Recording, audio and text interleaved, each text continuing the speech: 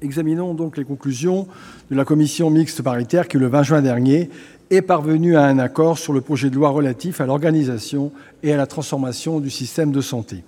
Deux voix s'exprimeront pour le groupe socialiste et républicain. Et avant Nadine Grelet-Certenais, j'aborderai deux sujets. Conjugués aux inégalités de santé, je pense espérance de vie, prévalence de certaines pathologies dépendantes des conditions sociales ou environnementales, la faible accessibilité aux soins d'environ 5 millions de Français en territoires ruraux ou urbains est l'un des facteurs les plus destructeurs de notre pacte républicain. Trois amendements initiaux portés par Corinne Imbert, Daniel Chassin et moi-même, puis un travail commun où l'intérêt général et la volonté d'agir ont écrasé les rivalités partisanes, une majorité forte de 311 voix, une difficile négociation entre les deux rapporteurs, et je salue l'engagement d'Alain Milon sur ce dossier, ont abouti à un vote unanime de la commission mixte paritaire sur un amendement de compromis porteur de l'essentiel. Et je rappelle la réalisation par les étudiants de médecine générale en dernière année de troisième cycle d'un stage d'un semestre au minimum en régime d'autonomie supervisée en priorité dans les zones sous-denses, avec une extension possible à certaines autres spécialités. Ainsi, chaque année, les étudiants en fin d'année, dans un cadre de formation réaffirmé, je pense aux remarques des étudiants, découvriront l'exercice ambulatoire dans tous les territoires, dont les territoires en difficulté. Le gain en temps médical disponible pour les habitants sera immédiat. Qui soutiendra que des vocations ne naîtront pas au contact d'une réalité inégale selon les bassins d'emploi, difficile parfois sans doute, mais aussi une réalité d'abord humaine et attachante. Bien sûr, personne ne pense que tout est réglé, mais un sillon supplémentaire a été creusé dans la lutte contre les déserts médicaux.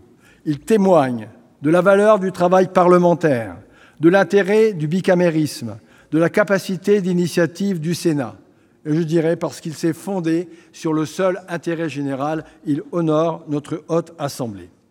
Madame la ministre, mes chers collègues, le second point de mon propos sera d'une autre nature.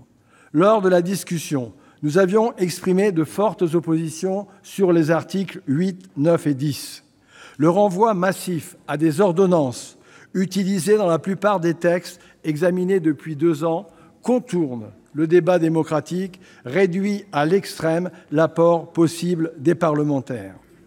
La notion de proximité, inséparable de celle de la qualité, est fondamentale pour les services publics.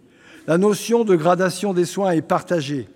Cependant, malgré les précisions apportées à l'article 8 sur la nature des missions socles, trop d'incertitudes génératrices de craintes pour les acteurs locaux demeurent sur ce que pourrait être la future carte des hôpitaux de proximité.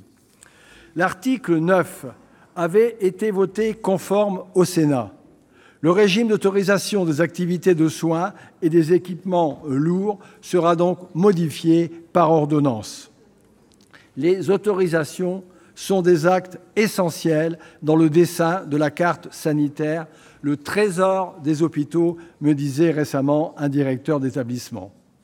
Enfin, la commission mixte paritaire a rétabli la presque totalité de l'article 10 dans sa rédaction issue de l'Assemblée nationale, réactivant ainsi les craintes déjà formulées sur l'avenir des commissions médicales d'établissement, leur lien avec les commissions de groupement, la future gestion des ressources humaines, médicales, odontologiques, pharmaceutiques et maïeutiques.